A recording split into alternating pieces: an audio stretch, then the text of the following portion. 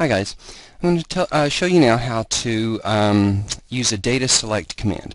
And you would want to use this command if, say, for instance, uh, like in the assignment, uh, you want to analyze all of the cases except two of them. Or if you wanted to say select, uh, say analyze only males versus females or something like this. So I'm going to show you how to use that data select command. So um, let's say uh, in this database I've got uh, is research on several of UMDNJ campuses. All right, and Katie just emailed. Thank you, Katie. Um, let's say I wanted to only look at people who are on campus one. What I could do is I would do data, then I would go select cases. All right. Then if the condition is satisfied, so I'm not analyzing all cases, but only certain cases, then I'm going to tell it what cases.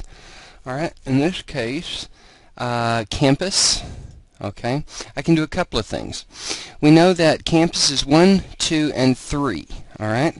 I can either do campus equals 1, and that'll select all of them, or let's say that I wanted to select, um, say, campuses 1 and 2, but I wanted to exclude 3.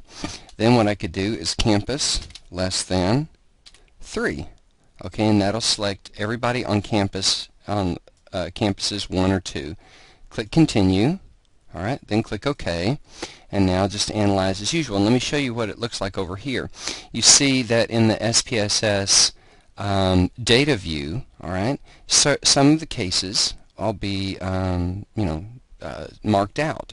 And what that means is SPSS isn't analyzing those cases. And so since I selected campuses 1 or 2, you see those are also um, available.